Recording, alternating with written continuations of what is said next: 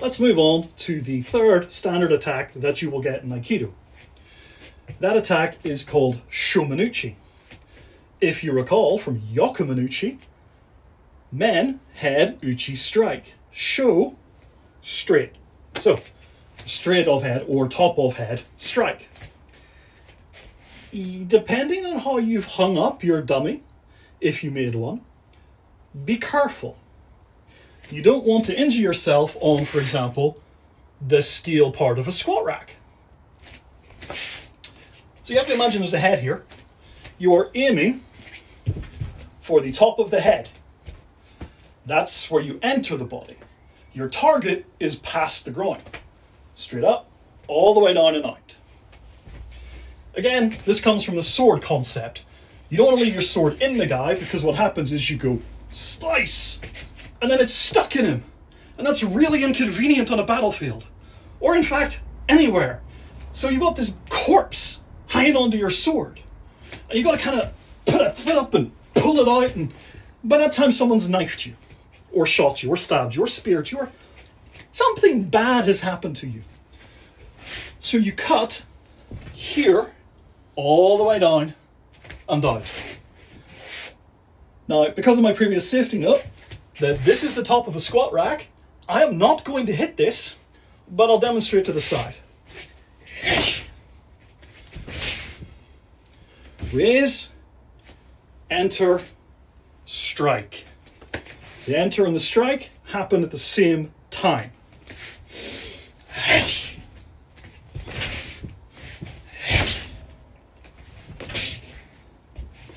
Get the idea? Practice those three. So, question why would we use such ludicrous attacks? People don't attack you like that. That's a good question. Why do we use such ludicrous attacks? Because of what the attacks are intending to do.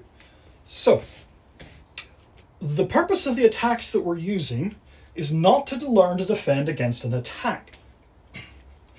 It's not to learn to defend against that specific attack. You are learning to defend against the attack direction. There are realistically only three directions an attack can come from. Straight, horizontal, and vertical. Anything else is a variation of those three. That's it. You've got thrusting energy, horizontal energy, and vertical energy. It's easier to learn to deal with three specific directions rather than all the different types of attack you could think of.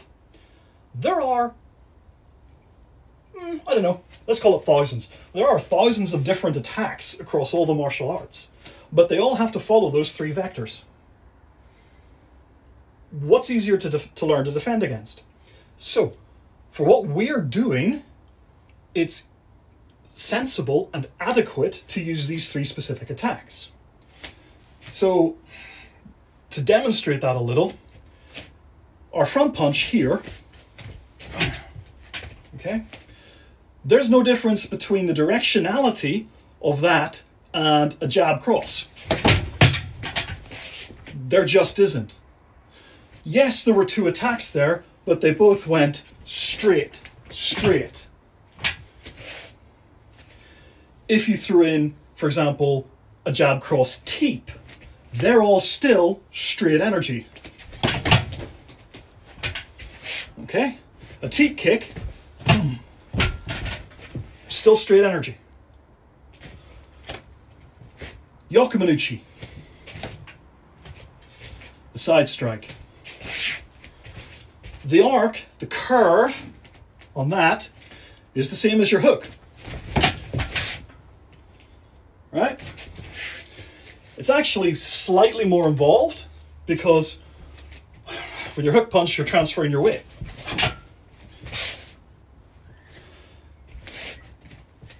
curved energy along this plane.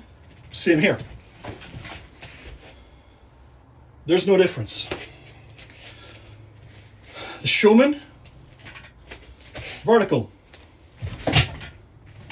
There's no difference between that or, for example, here. I am not warmed up enough to do it, but an axe kick falls into the same category. Comes right up, straight down. We're dealing with the same energy vectors, we're just not bothering with all the fancy attacking parts of them. So we can concentrate on the more defensive parts of them. One other reason for this, and this is a historical reason that may apply, is that when Osensei, the founder of Aikido, first set up and started doing it, it was brand new. Nobody came to him without having prior martial arts experience, so almost all of the original students already knew striking. Therefore, you didn't need to teach them striking, so they went with these. How much truth there is to that, I don't know, but it's a valid theory. I could pick holes in it, but I'm not going to. So that's why we have those three attacks. As stupid as they may seem, they are more than adequate for the purposes we need.